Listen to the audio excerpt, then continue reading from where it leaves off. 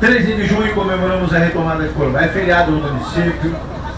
Ah, e esse forte foi construído logo após a retomada. É de 1871. Ali tem 11 canhões trazidos da Inglaterra, fabricados por uma empresa alemã. Apontado rio abaixo.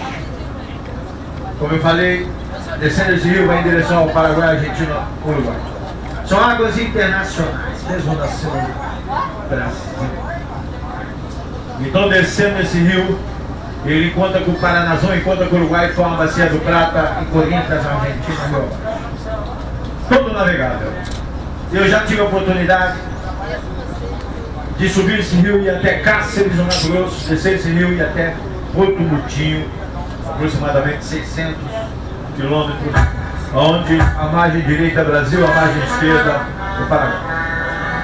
Ok.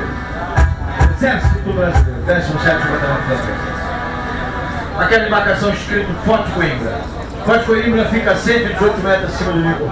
Desculpa, 180 quilômetros né, em água, rio abaixo. Forte Coimbra. O forte mais antigo. É onde é um vilarejo onde moram as famílias do, do pessoal do, do exército. Onde tem um forte lá maravilhoso e conta uma história é, também. Segura! 1755.